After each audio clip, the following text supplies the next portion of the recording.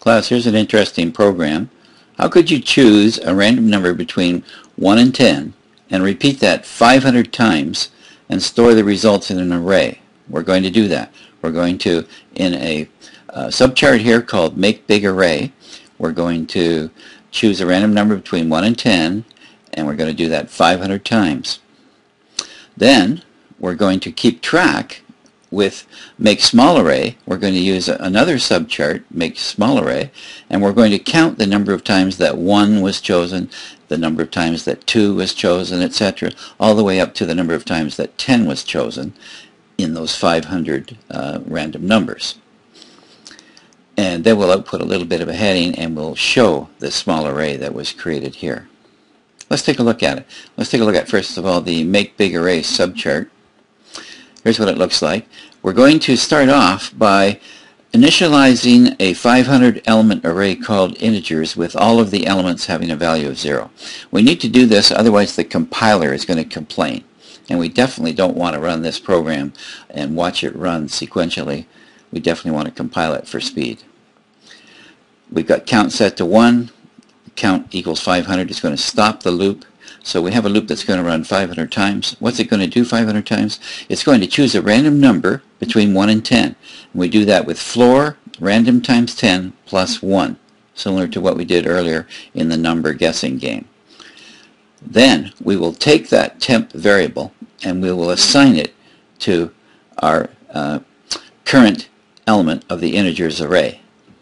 And that's going to happen 500 times. So 500 times we're going to get a number between 1 and 10 and store it in this array. Let's take a look at make small array. Make small array is going to process that larger array and it's going to create another array called results which has just 10 elements in it but we're going to use a clever trick. We're going to let results 1 be the number of times that the number 1 was chosen during the random 500 number. And results 2 will be the number of times that 2 came up as a random number, and so on. So here we have a loop that's going to run uh, uh, 500 times as well. We have to process the whole uh, array, that big array. But what we're going to do is we're going to cleverly put the uh, integers count inside the square brackets of the results and increment that. So it's a little bit tricky. Can you see what's going on there? Uh, for example, if, if we get the integers count happens to be 5, then it's going to be results 5 equals results 5 plus 1, and that will be used in this array then, and we can output that to see how many times 5 was chosen. Let's take a look at the show small array. It's relatively simple compared to the others. Uh, it's a loop that's going to run just 10 times because we know that that uh, uh, results array has only 10 elements in it. And what we're going to do is show the number of times that 1 came up, the number of times that 2 came up, and so on.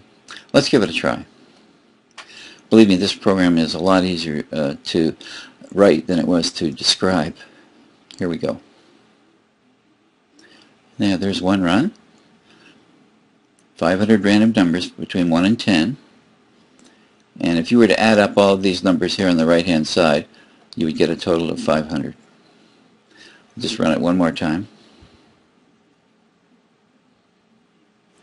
And you get totally different output, but once again, these will all add up to 500.